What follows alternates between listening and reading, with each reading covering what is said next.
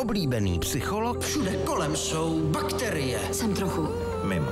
umí vyřešit problémy Víte, proč tohle cítíte? Kvůli tomu jsem tady. všech hollywoodských hvězd. Kromě svých vlastních. Kevin Spacey jako velice svérázný Už vás nechci nikdy vidět. Pracovně.